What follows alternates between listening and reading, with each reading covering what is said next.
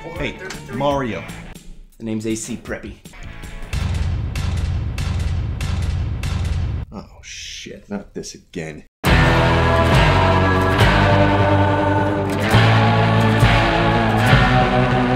Oh my god, you don't understand. I keep seeing his face everywhere. Remember that guy that came to our high school in 1992 and told us there was no hope with dope? Remember? And then he wanted to be a high school principal, but he was actually like a TV executive. Well, I keep seeing him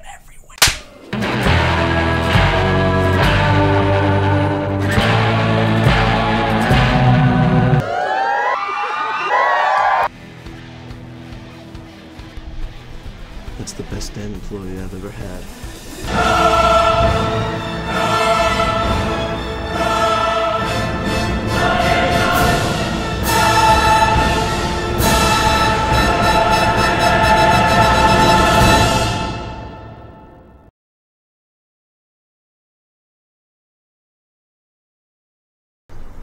Slater, get off my sister.